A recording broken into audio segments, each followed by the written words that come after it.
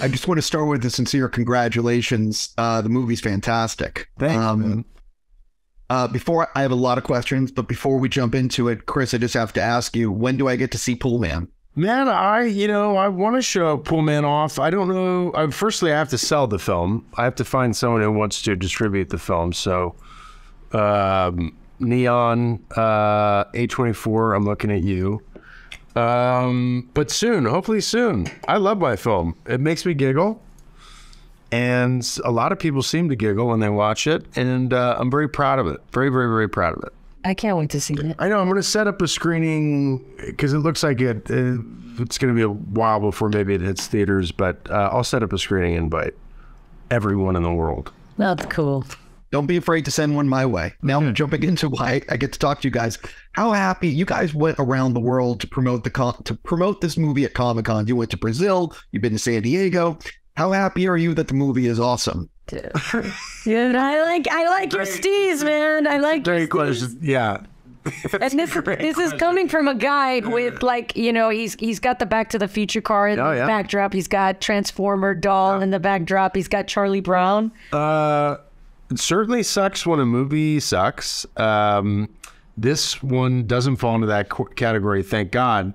What was really fun, I have to say, is going to South by Southwest. I, I had never been to that Paramount Theater, and that Paramount Theater is such an incredible venue because it's so small, it's so tight, it's so cavernous that there's like no chance for any energy to dissipate. And this film is specifically made you know, this is made for audience. It's made for film goers. It's made to be seen in the theater. It's made to be shared. So to be able to be in that um, in that uh, environment, to feel the energy go around, to feel people laugh, to gasp, to cry, to all of it was really really exciting. One of the things about the film, well, one of the many things, it's really funny. The action is well staged, and um, you care about the characters. Uh, so I'm just curious for this was not the question I was gonna I was going with, but I'm curious for, for both of you. What are you actually most excited for people to see? Because there's so many good things in this movie. For me, it's the fact that there are a lot of practical effects in it. So the, a lot of it to me feels like films that I grew up watching, like uh, Goonies or uh, I don't know, really anything. Willow, Princess Bride. There's a lot of real in this, and I think in an age of so much computer graphics, and certainly we have a bunch of that in this. There are a lot of scenes that employ practical, old-fashioned craftsmanship. Um, animatronics and and and stuff that you know we haven't really seen on film in a long time and i think that's really exciting Yeah, I'm with him on that. You know, to be fair, like it's just so awesome. You know, Legacy did such a wonderful job, you know, creating all of these creatures. And I think that their debut is everything to me.